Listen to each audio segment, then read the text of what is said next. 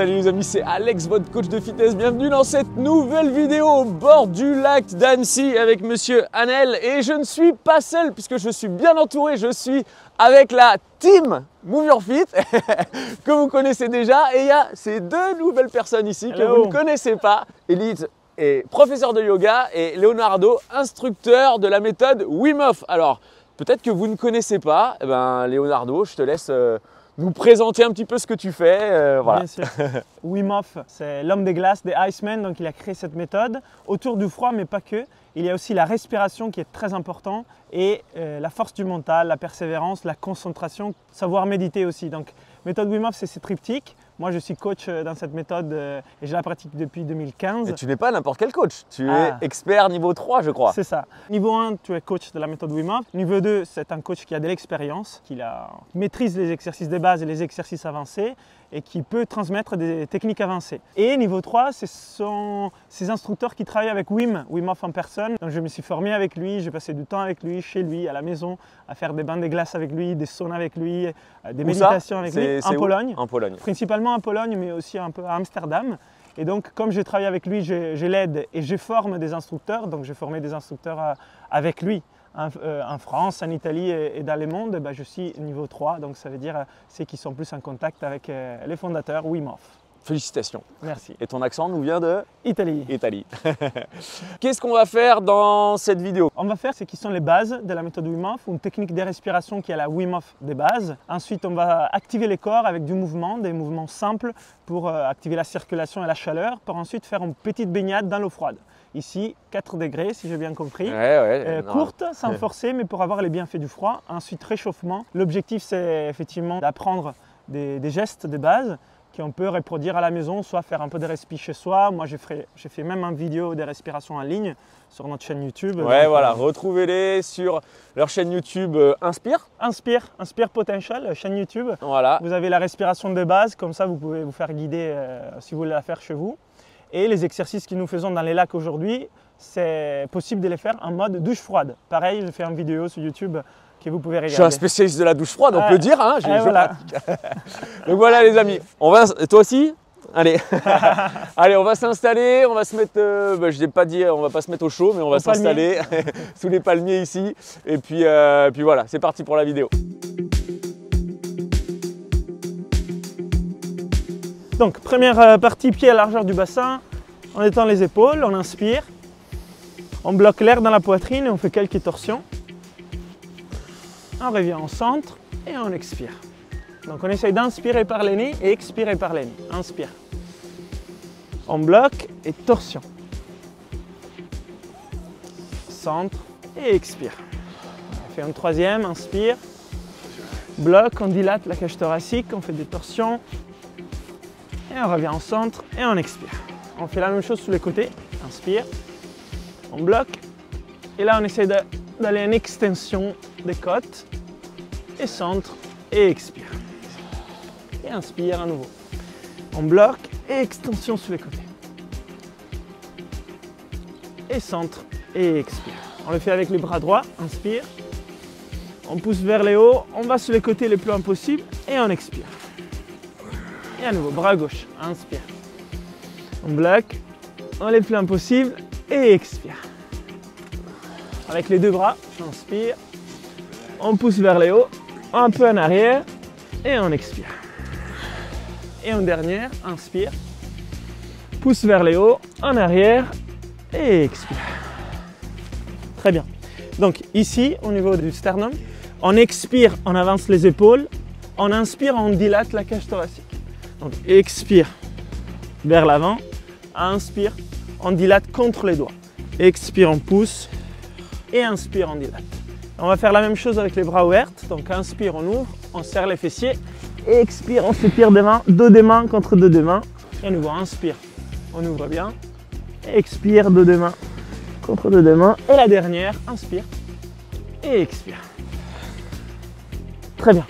Au niveau des, des côtes, on masse pour chauffer un peu le tissu. On masse aussi les, la frontière des côtes à la fin où il y a les côtes flottantes.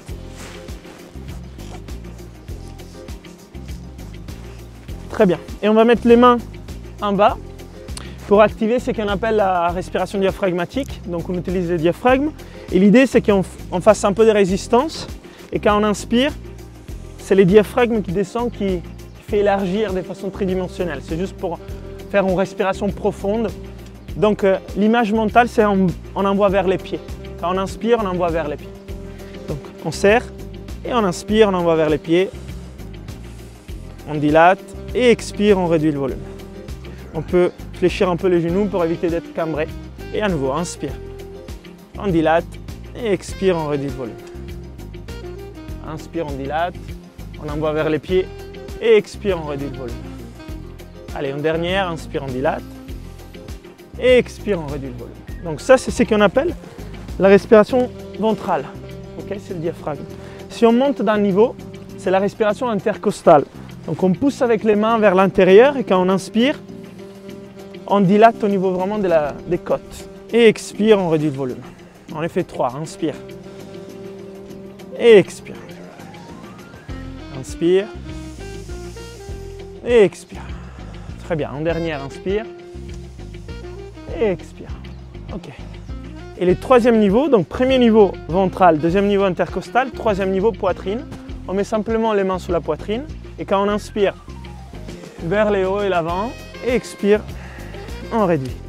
Inspire vers les hauts et l'avant et expire, on réduit. Et en dernière, inspire et expire. Ça va? Normalement, on commence à sentir que ça chauffe un peu quand on respire et on bouge. Et ces trois niveaux, on va les mettre ensemble dans un seul mouvement, c'est ce qui s'appelle la respiration yogique ou la respiration complète. Donc je vous le montre juste une fois, c'est inspire en commençant du bas, puis l'intercostal, et puis la poitrine, et on relâche. Donc c'est très ample. On le fait juste trois fois, parce qu'après ça peut tourner la tête. Moi, ça me tourne déjà la tête. Ah, voilà, ok. Parce qu'en en fait, c'est des volumes qui sont importants. L'objectif, c'est justement d'aller ventiler plus que d'habitude, mais allonger. Donc là, c'est juste pour l'exercice. On le fait trois fois. Et si la tête tourne, ça suffit de prendre un peu moins d'air.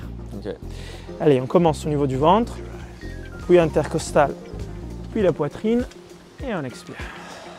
Très bien, un nouveau ventre, intercostal, poitrine, et on expire. Et en dernière, inspire et expire. Très bien, ça va? Donc, ce qu'on a fait là, à préparer notre diaphragme, les côtes, on a fait un peu de gymnastique de la chaîne respiratoire et on a vu la respiration complète au yogique qu'on va faire dans la respiration Wim Hof. Donc le protocole maintenant qu'on va faire dans la respiration Wim Hof, je vous l'explique, utilise tout le temps cette respiration sans pause. C'est une respiration cyclique. On ne fait pas de pause. On inspire et on expire. Et on inspire. C'est cyclique.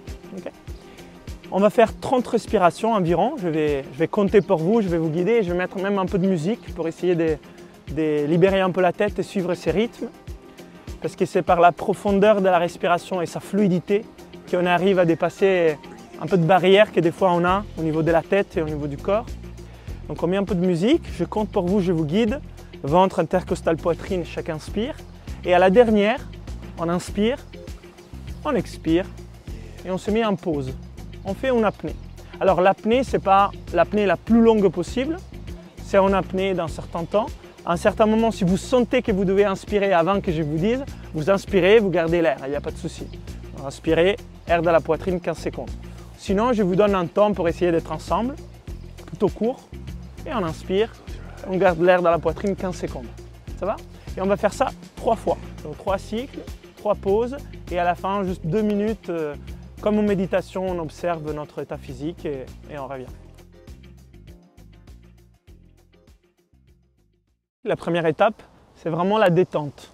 On prend quelques instants pour essayer de s'allonger ou alors s'asseoir dans une position où on est détendu.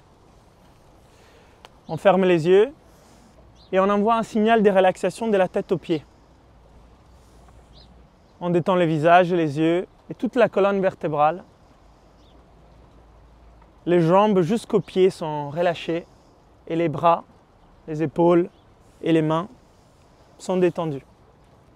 Un corps détendu est capable de mieux utiliser l'oxygène, de mieux aller en profondeur.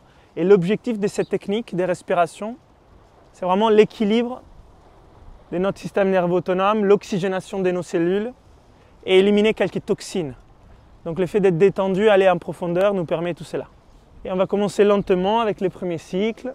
Donc inspire du ventre, on monte à l'intercostal jusqu'à la poitrine et on expire, on relâche.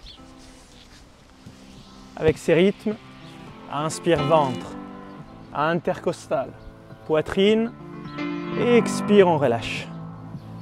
Et à nouveau inspire ventre, intercostal, poitrine et expire, relâche. Très bien. Avec ces rythmes, inspire par les nez, ventre, intercostal, poitrine. Et expire par les nez ou par la bouche, comme vous préférez.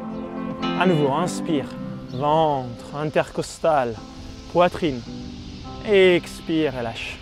Très bien. Et à nouveau, in, ventre, intercostal, poitrine.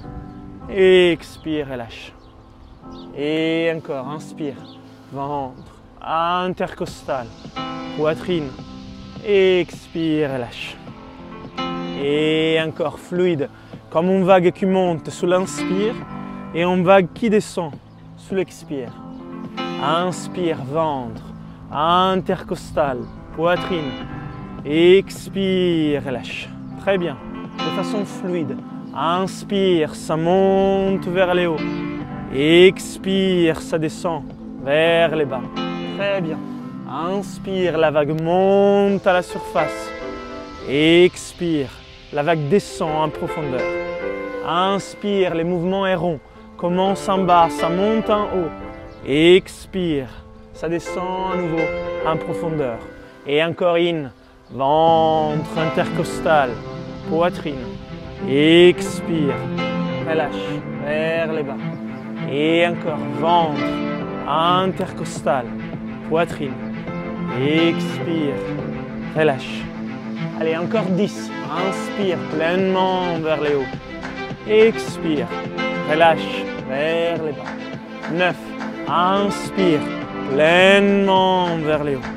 Expire, relâche. Très bien. Fluide et connecté. Inspire, in. Et relâche, out. On est en train d'oxygéner davantage. À chaque inspire, on prend de l'air, de l'oxygène. À chaque expire, on laisse sortir toute tension. Et encore 5. Pleinement in. Expire. Out. Et 4. Ventre intercostal, poitrine. Expire, relâche. 3. Ventre intercostal, poitrine. Expire, relâche. Et deux, ventre intercostal, poitrine. Expire, relâche. Et un, ventre intercostal, poitrine. Expire, relâche. Et la dernière, pleinement. In, inspire. Out, expire et pause. Après avoir expiré, on se met en pause. Première apnée qui commence. On se détend davantage. On détend tous les corps, de la tête jusqu'aux pieds. C'est le moment de connecter corps mental, de se détendre et d'observer les sensations physiques, tout simplement. Qu'est-ce qu'on ressent au niveau de la poitrine? Qu'est-ce qu'on ressent au niveau du visage, du front? Qu'est-ce qu'on ressent au niveau des épaules, des bras jusqu'aux mains? Détendu. On relâche toutes les parties du corps.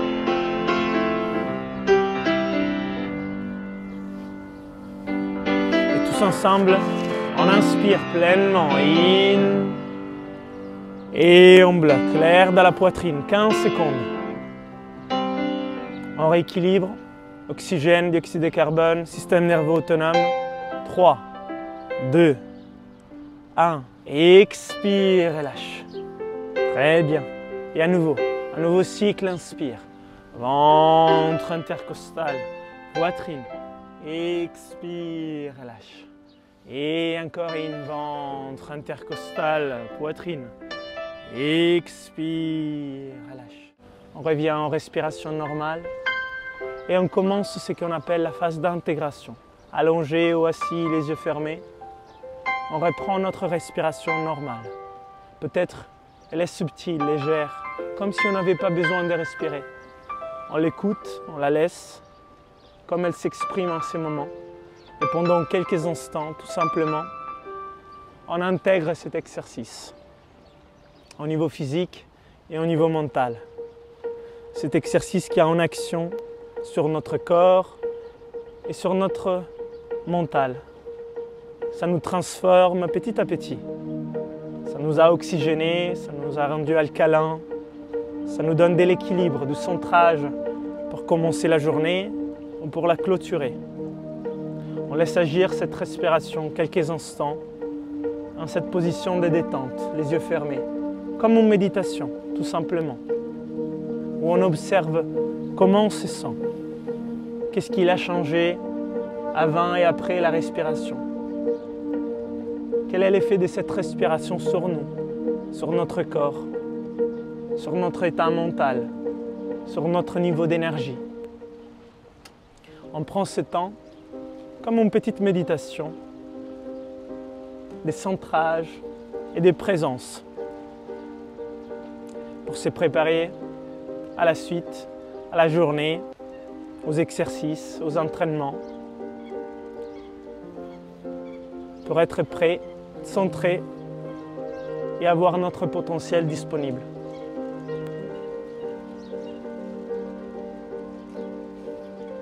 On prend encore quelques instants dans cette phase d'intégration.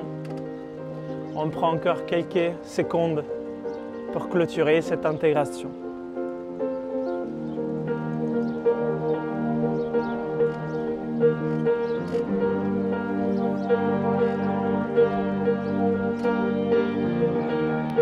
Puis on peut un léger sourire sur le visage, ressentir un peu de gratitude pour avoir pris ce temps ce matin, aujourd'hui, pour pratiquer quelques respirations. Prendre soin de son corps, prendre soin de son mental. Cette respiration qui nous fait du bien, qui nous recharge. Et puis chacun avec son temps, il peut réactiver les mains, Bouger légèrement les poignets, peut-être les chevilles. Réactiver les corps, les épaules.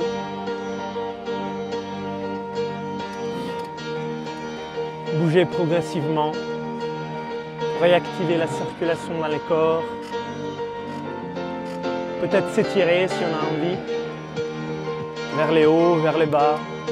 Faire quelques rotations avec la tête, les épaules,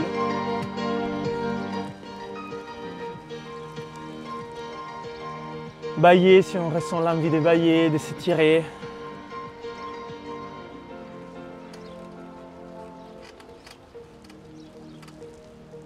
Revenir très doucement en position assise, chacun avec son temps. On prend les temps.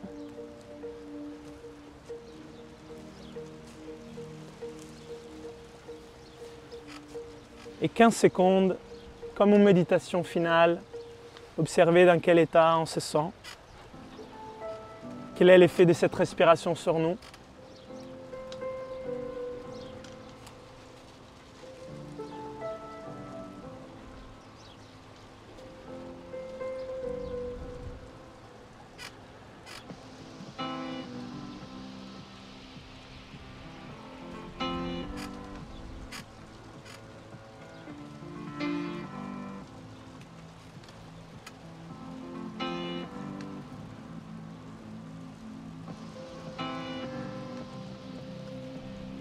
pour clôturer, je vous propose de faire trois respirations ensemble. Sous l'inspire, un léger sourire, un peu de gratitude pour aujourd'hui, pour notre journée. Et sous l'expire, ah, un soupir, tout simplement on relâche. Allez ensemble, sourire, on inspire. Ah, on relâche. Un deuxième, inspire, gratitude. Ah, et un soupir, on relâche. Et un troisième, inspire. Ah, très bien, on s'étire un peu vers les hauts, un peu sur les côtés, même un peu vers l'avant si on ressent l'envie. Ah, quelques torsions des épaules, on active la colonne vertébrale. Et voilà, régénérer après quelques respires.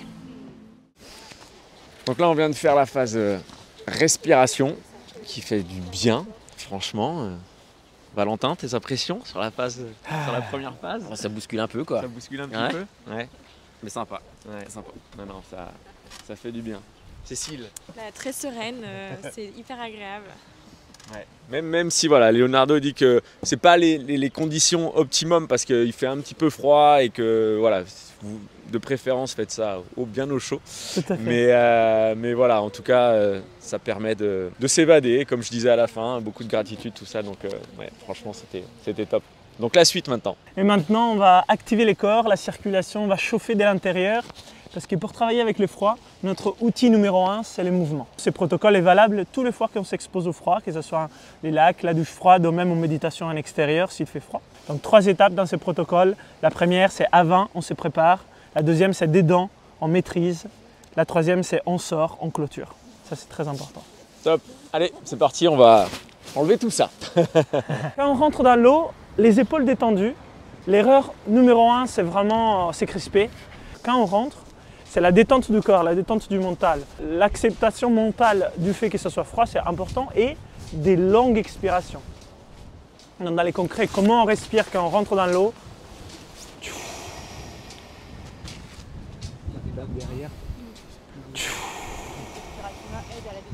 Parce qu'à chaque fois qu'on fait des longues expirations, les corps l'interprètent comme détends-toi. Donc en fait, on, est en train de dire de façon physique au corps de se détendre. Et en plus, ça aide vraiment à lâcher prise aussi quand on est un peu comme ça. Par les nez et puis out par la bouche. Et en fait, on va pas très loin. On prend l'eau jusqu'au bassin. Et quand on se sent qu'on est arrivé à notre endroit, on expire et on baisse. En fait, on expire et on baisse au même temps. Parce qu'au moment où le froid arrive, c'est le moment où on se crispe, mais là, c'est le moment où on détend, on expire. Donc, on arrive à faire ça en même temps pour équilibrer. Et quand on est sur place, moi, ce que je conseille, c'est généralement en position assez euh, centrée d'introspection. Main contre main, ça aide aussi pour protéger les mains, parce que c'est toujours l'endroit le plus difficile. Vous voyez, généralement, les gens rentrent avec un bonnet élégant, parce que ce sont les endroits qui perdent le plus de chaleur. Après, si vous voulez rentrer avec les gants, les bonnets, c'est faisable aussi. Mais si on rentre sans bonnet et sans les gants, si on protège les mains sur les corps, c'est beaucoup plus simple. Et on se sent en fait, comment dire, si vous voyez ces gestes, c'est une connexion à soi. Donc ça permet de rester centré. On reste pas très longtemps. L'idée, c'est de faire quelques respirations, de maîtriser son souffle, d'être bien. Et quand on se sent qu'on a eu une autre dose de froid, de sortir, mais tout en maîtrise. La maîtrise de, l'exercice est importante. Mieux veut faire un exercice de qualité, court, où on a les sourires, on est en gratitude, où on est centré, que vouloir pousser, forcer, mais en étant hors maîtrise. On oublie la montre, c'est la qualité de l'exercice et notre ressenti qui va nous guider sur les temps. Parce que les temps, chaque jour, va être différent. Ce n'est pas toujours faire plus, c'est toujours faire mieux qui compte. Donc là, l'idée, en fonction du niveau de chacun, ça peut être quelques secondes ou quelques minutes, en se rappelant que quand on sort, on doit se réchauffer. Donc le plus on reste dans l'eau, le plus de temps il nous faut pour se réchauffer par la suite, le plus d'intensité, le plus de persévérance mentale dans cette troisième étape.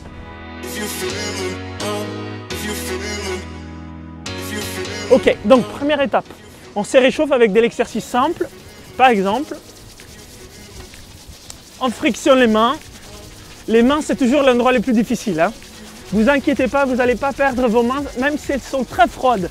Même si vous les sentez plus, même les pieds, c'est vrai. Mains et pieds, c'est toujours les endroits. Vous ne les perdez pas hein, en faisant un exercice comme ça, il n'y a aucun danger. Et on active la poitrine, les ventres, les jambes, d'avant et derrière, et les côtés, extérieur et intérieur, extérieur et intérieur. Intérieur. Allez, on fait les bas du dos, bien vite, bien vite les bas du dos, bien vite les bas du dos. Et derrière les omoplates, on active le dos, et de l'autre côté, et un peu le visage, comme ça on détend. On inspire. Et on relâche. Très bien, on active les épaules. Et on fait circuler. Premier outil qu'on a pour chauffer les corps, c'est la circulation. Donc on doit vraiment faire bouger. On essaye de respirer par les nez. Parce qu'on perd moins de chaleur en respirant par les nez. Allez, sur place, on détend les épaules, on trottine.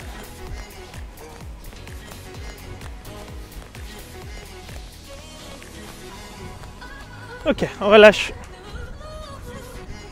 les jambes.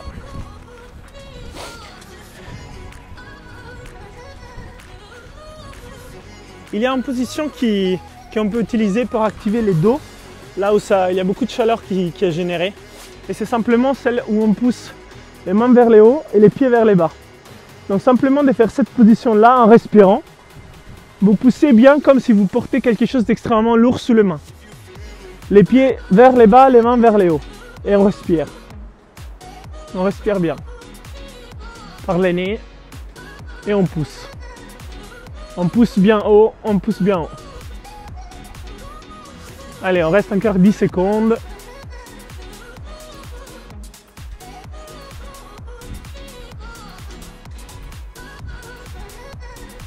Et on relâche, on expire.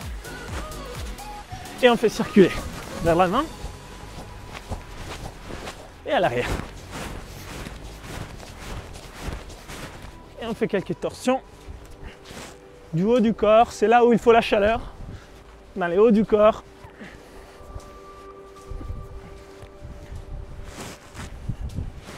Et on relâche les jambes. Il y a une autre position qui, est utile pour chauffer, c'est la position du cavalier ou du chevalier que Wim utilise. Donc on active bien les cuisses, ce sont des muscles qui chauffent bien, et on active les hauts du corps aussi. Donc on expire, on inspire, et d'un côté on pousse, et de l'autre côté on pousse, et d'un côté on inspire, et de l'autre on expire. Donc c'est comme un exercice de concentration en fait. D'un côté on respire, et de l'autre on expire. Inspire et expire. Inspire et expire. Inspire et expire. On pousse bien avec les pieds au sol, simplement pour chauffer, lent. En fait, quand on fait cet exercice, on vide un peu la tête aussi. On se concentre juste sur le mouvement. Inspire et expire. Inspire et expire. Inspire et expire. Inspire et expire. Inspire par les nez lentement avec intensité. On vient en centre, on inspire et on relâche. Et on fait circuler. Ça commence à chauffer. Vous sentez la circulation, ça va? Vous avez besoin de plus de chaleur ou vous vous sentez prêt? Prêt? Ok. Donc quand le corps est chaud, quand on est prêt mentalement et physiquement, c'est le moment d'y aller. Donc on va se mettre un maillot de bain et on va rentrer.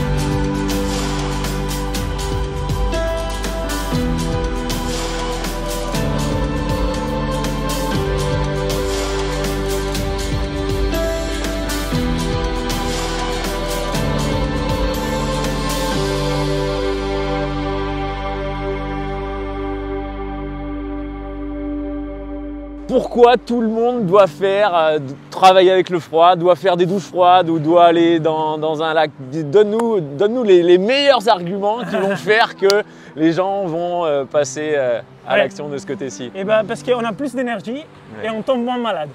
Et généralement, quand on est moins malade, on a plus d'énergie, on accomplit nos projets, nos rêves, ce qu'on veut faire avec la famille, le travail. Ça permet de, de booster les, progrès qu'on peut avoir en faisant du sport ou autre chose. Ouais, et puis de travailler son mental de façon euh, globale. Ah oui, cette sérénité mentale. Pour toutes les personnes qui peuvent avoir un peu des, des tristesses, dépressions, difficultés mentales, les froids, ça, ça bascule, ça, ça fait sortir de cela. Et, et c'est comme ça que Wim Hof euh, a découvert un peu ses pratiques pour lui-même. hein. Tu peux nous expliquer un petit peu justement euh, la genèse, un petit peu Wim Hof, comment ça lui est venu, comment euh, il a développé Oui. cette méthode? Bah, Wim Hof, il, il a pratiqué euh, tout seul pendant des années euh, suite à la mort euh, de sa femme, qu'elle s'est suicidée. Un traumatisme très dur pour lui. Et en fait, il s'en sortit d'un boucle en spirale négative en faisant des bains froids, un peu comme ici, et avec la respiration. Des techniques de respiration comme on a fait tout à l'heure pour se centrer, ressentir cette gratitude, se ressentir euh, bien avec soi, avec les autres, et les froids pour euh, éliminer toutes les pensées négatives, la tristesse, la colère, euh, faire un reset émotionnel et physique, c'est donner ses moyens, c'est- cet état d'énergie pour affronter les défis de la vie de tous les jours. Donc oui, il m'a pratiqué comme ça. Ensuite, il a fait des records, des records du monde. Il a nagé dans, dans la glace, il a escaladé l'Everest, euh, un marathon pieds nus dans la neige, deux heures dans, un- dans une eau glacée, tout ça, des choses assez incroyables. Et à ce moment-là, c'est dit, je veux que la science puisse étudier ces bienfaits de cette méthode, la méthode Wim Hof, respiration, froid et mental. Et il y a aujourd'hui 11 études scientifiques publiées sur les bienfaits de la, de- de la méthode Wim Hof, sur le système immunitaire, pour réduire l'inflammation et en général sur l'état mental, euh, des, des concentrations et des, et des bien-être. Voilà. Ok, top. On n'a peut-être pas vu, euh, parce qu'on n'avait pas de micro tout à l'heure quand on était euh, dans l'eau, qu'est-ce que tu nous as fait faire? Comment, Combien de temps on est resté à peu près euh, Alors, on, est, on est rentré en maîtrise et en détente physique et mentale. Et dans l'eau, on a fait des longues expirations. Donc, on était ensemble. Il y avait les vagues et les vents, donc ce qui rend la chose un peu difficile des Ouais. fois pour trouver un état de, de calme. Mais c'est des longues expirations où on se détend. On sourit, parce que quand on a un beau sourire, ça détend le corps et ça soulage en fait. C'est mieux de le faire en s'amusant. Et après, on est sorti en maîtrise, on est resté quelques minutes, je ne sais pas, parce que je ne prends jamais le chrono. Je le fais tout le temps au ressenti. Et c'est ça, en fait, euh, vraiment la clé des, des progressions dans ces exercices. C'est d'apprendre à s'écouter et de voir nos limites et à quel moment il faut. À chacun son niveau et aussi en fonction de l'énergie qu'on a. Parce que si un jour on est fatigué, comme dans les sports, on fait moins. Dans les froids, on fait moins. Donc, euh, mais il n'y a pas de danger dans le sens où euh, on va avoir des engelures aux mains, aux pieds Ouais. ou alors euh, faire une hypothermie grave. On peut un peu se refroidir, donc on frictionne. Ouais, là je suis toujours un mais, petit peu. mais en fait, ça va, ça, fait vraiment du bien va, au corps, ouais. ça. Ouais. Parce que ça apprend au corps à chauffer de l'intérieur. Donc pour toutes les personnes qui sont frileuses, d'apprendre au corps à chauffer de l'intérieur, ça permet d'être moins frileux et de moins ressentir le froid. Donc ça, c'est important. Voilà. Si vous dites jamais de la vie je pourrais le faire, c'est justement en pratiquant justement- que ça va inverser Ah bah euh, moi, le processus. c'était mon cas. hein. Moi, je suis italien, grandi à la côte euh, italienne. L'hiver, il fait 10 degrés. Donc pour moi, ça, c'était impensable. Donc c'est en faisant des exercices que maintenant, ça, ça fait partie de moi. Mais j'avais aucune prédisposition au froid. Magnifique Bon, bah, euh, écoute, euh, Exercice super. difficile. Ouais, non, franchement, c'est génial à refaire, à pousser encore plus. Euh, si vous voulez d'autres vidéos comme ça, que j'aille faire un stage avec eux, tout ça, bah, dites-nous en commentaire et franchement, avec plaisir. Euh, pensez à vous abonner à leur chaîne, c'est Inspire Potential, c'est Inspire ça Potential, tout à fait. Voilà, sur Instagram, euh, retrouvez-les. Et puis, euh, bah voilà, merci d'être venu jusqu'ici, jusqu'à Annecy. Et puis, voilà, un max de pouces like. on fait exploser les commentaires, toujours dans la bienveillance. En tout cas, merci. Pensez à vous abonner à la chaîne. Et puis, bah, on se retrouve très vite pour une prochaine vidéo. Allez. Merci. Et merci à l'équipe Move Your Fit quand même.